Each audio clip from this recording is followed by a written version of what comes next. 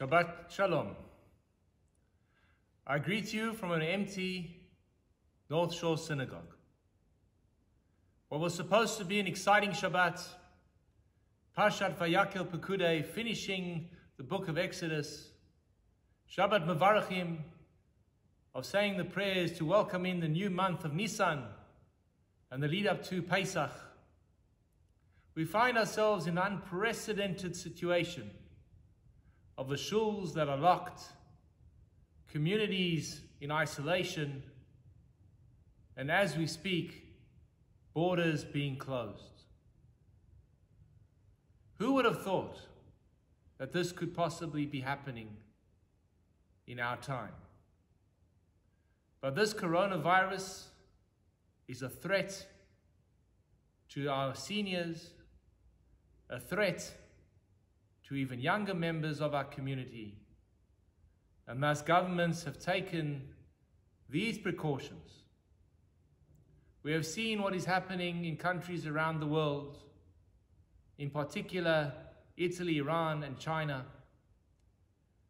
And if we want to prevent that from happening here, decisions had to be made, including the painful one of shutting the synagogues. This means that we are all home for Shabbat. And whereas before, last week, the week before, you could, you could rely on the community for the, uh, the, the energy of Shabbat, the spirit of Shabbat, and Judaism. Not so this week. Each person is stuck at home each person is with their families for, Shabbat, for this Shabbat. And thus, the challenge for every one of us is what am I going to do to make Judaism more viable in the world today? I could have given over my responsibility to the shuls, to those who do the heavy lifting of the daily and weekly minyan. Not so this Shabbat. On this Shabbat, each and every one of us must take responsibility to bring a little more light. When we light the Shabbat candle shortly, think about bringing the light of healing into this world. When you sit around the table this evening for Shabbat, maybe add an extra tune. Maybe sing at the Shabbat table, Lecha Dodi, with your family. The sounds and love of Shabbat should still permeate the community, even if we as a community cannot gather. This is unprecedented. And we have a responsibility. And many of us might think there's no problem if I don't listen to the news and I go about my daily, daily, uh, daily routines Besides, no toilet paper. Life is normal. The sun rose this morning. There's a blue sky. Life is good. But life is not good. And we were brought up in a generation of I, of the iPhone and iPad, suddenly to understand that we are part of a community. And this is what coronavirus has taught us. You cannot act in isolation. Your actions have a global effect. During the past week, I was talking and teaching the students, and we discussed this very, very point. I was talking about it in the context of tefillah in the shul, in the shul service. That there are some people engaged in tefillah, and there are some people who choose not to engage. But those who choose not to engage, instead of sitting quietly, started talking. And that destroyed the atmosphere for those who were trying to pray. And I said to them, the purpose of the minyan is to teach you the value of your actions and being mindful for others. respect the rights of others, and care for them. And if you can learn it in a shul, you'll take that same message and apply it to the way you live your life out there. When we walk outside, who was washing their hands? Who was thinking, I've got a little cold or a sniffle, I'll go to work? Those personal decisions can impact colleagues, communities. And for that reason, we are forced to lock down, to take responsibility for my actions with regards to the community. There is a story about a ship that sinks, and the life and the, and the, the survivors gather in the lifeboat. When all of a sudden, everywhere around them, they see or feel that there's water at the bottom of their lifeboat. And they look to their right in the sea, one of the, one of the passengers, busy boring a hole at the bottom of the, by his feet. And they say, What are you doing? And he says, It is hot. And I wanted to cool my feet. So I bored a hole to allow some of the seawater in so my feet can be cool. And they all look at him in shock and says, Your actions, your selfish actions have impacted on every single one of us, endangered every single one of us. And he says, But the hole is only by my feet. The hole sinks the boat. This is what we have to think about this Shabbat. I'd like to conclude with the following story.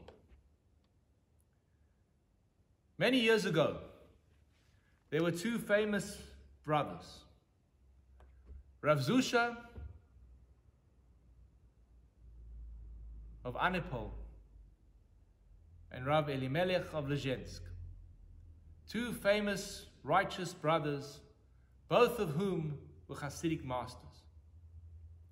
And it happened that for some reason they were arrested and they were put in prison. And they are in prison with all the riffraff. And in the cell, they notice there's a bucket for people to do their business. And the one turns to the other and says, We cannot pray here, for the bucket is filled with waste. Another one responds, True, the situation we have at the moment teaches us that we cannot serve God through prayer. But we can still serve God in other ways. So they started to dance and sing because they couldn't pray to God. The guards heard the commotion, come to the, uh, the cell and say, What's going on over here? And the prisoners say, these guys are dancing because of the bucket. So the guard said, We cannot have this. They walked inside and removed the bucket.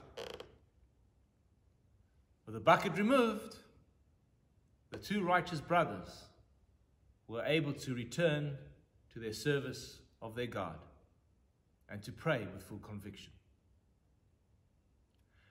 In the same way as we have enthusiasm and excitement to come to shul on a weekly basis, on a daily basis, to celebrate with, uh, with friends and family as a community and sing together Lecha Dodi.